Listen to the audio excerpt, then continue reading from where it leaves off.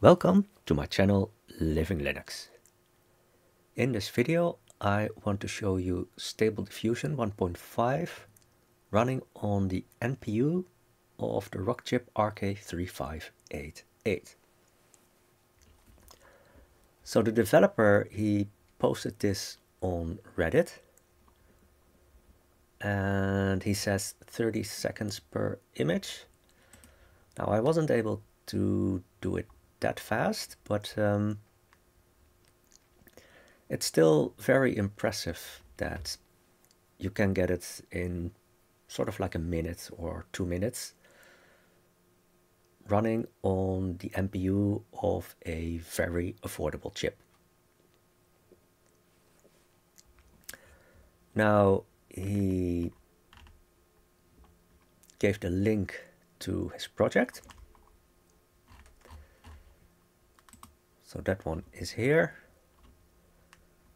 And I'm guessing he's Chinese, so he starts with the explanation in Chinese. And when you scroll down, there's the explanation in English. So I'm running with the Ubuntu 24.04 image from Joshua Riek and that one has the Rockchip NPU driver. Uh, I think with a recent image of Armbian you also get the NPU driver. And well, from what I noticed is that perhaps you have to install pip first so you can install it like this and I had to install two more modules torch and transformers. And when I tried to run it I actually ran into this error message. So you have to download a file from here. At least the good part is, is that it gives the URL for the file, so otherwise you might uh, have to look in a lot of places to actually find it. So you can click on it and then you can download it.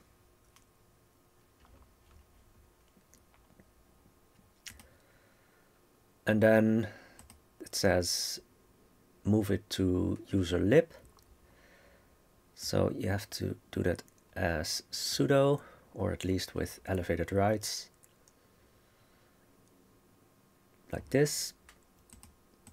This is how you clone the code. So that is the this URL and then once you've downloaded the code uh, you can go into the directory. It should look very similar to this. You might miss images because that's will get generated once you generate an image. So we go to the terminal and then we'll open another one just to be sure um, so we can have a look at the NPU load. And well, he says to run it. It's a very long command. Uh, I'll also put this all in the description of the video. So I'm running from a micro SD card, so that's not the fastest way to do things. So it's better to run it from an SSD, like from an NVMe drive. But just for demo purposes, we're running from a micro SD card and we'll try to generate an image. And you can see for inference steps, it's rather low for stable diffusion, I think but um, the result is reasonable. So let's see, we'll start it.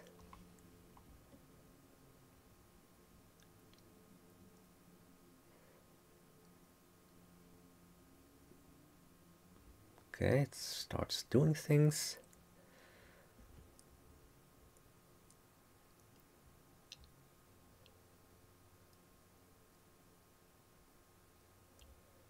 So let's see if we see any load on the NPU. Not yet.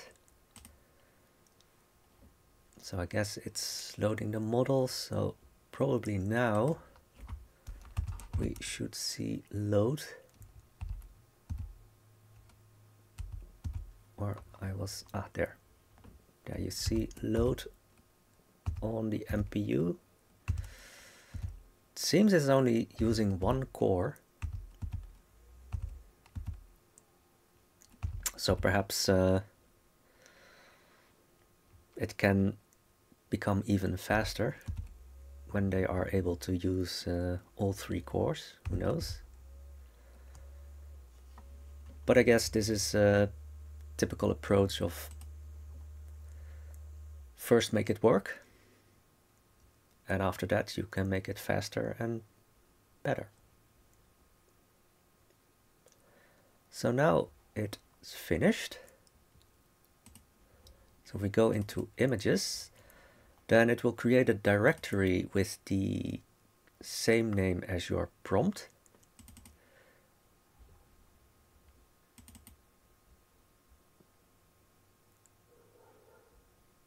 And it looks uh, not exactly the same. It looks a little bit similar, although with this one it might be, well, more like the golden hour. So sunset, or perhaps sunrise, who knows. Um, yeah, it's not very detailed. Sometimes you get the impression that it is a bit like a watercolor painting but at least with trees that looks reasonable.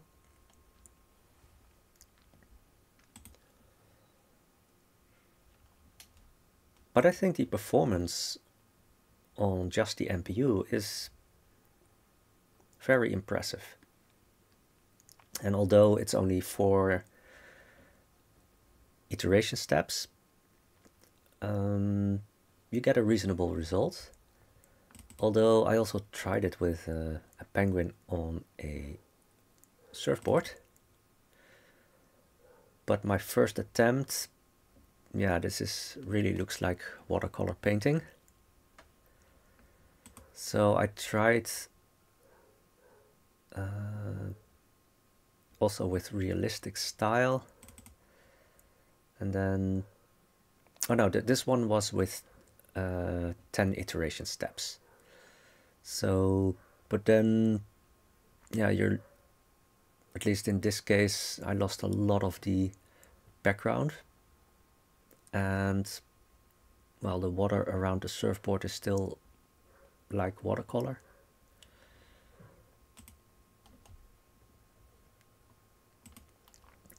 But, um, the developer says that he is working on porting Stable Diffusion 3.5 medium. So yeah, if he can make that work and hopefully also on um, all three NPU cores, then it will be really interesting to see the result.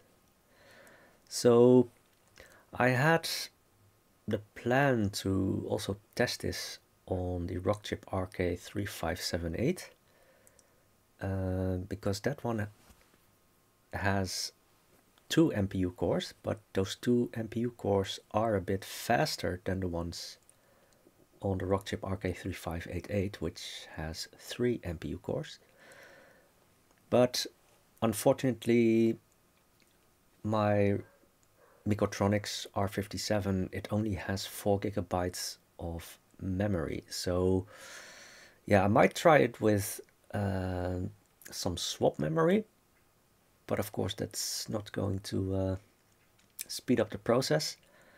Um, yeah, I might give it a try, and uh, who knows that it's not so bad uh, running it from swap memory.